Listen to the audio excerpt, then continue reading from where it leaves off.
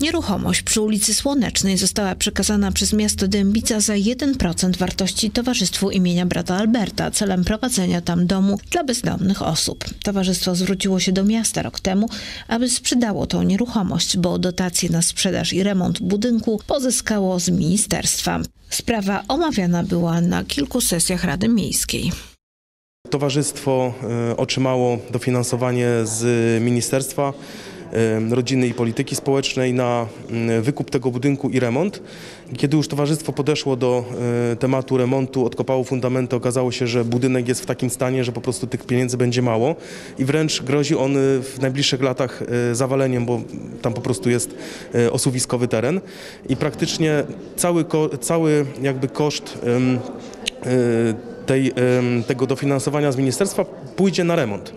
I w związku z tym, że i tak ten budynek był od no, prawie 20 lat w rękach stowarzyszenia, że sto- stowarzyszenie tam prowadziło e, noclegownię dla bezdomnych mężczyzn i też własnymi e, środkami o ten obiekt starało się dbać, e, tam remontować go i tak dalej.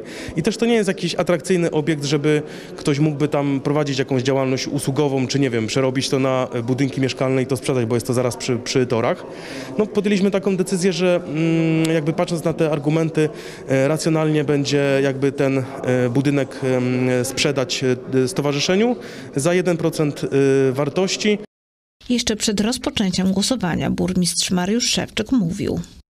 Uważam, że przekazanie pewno jest zasadne, bo z dobrym zapisem, z dobrym zapisem, żeby było ujęte co co ma być i na jakie cele.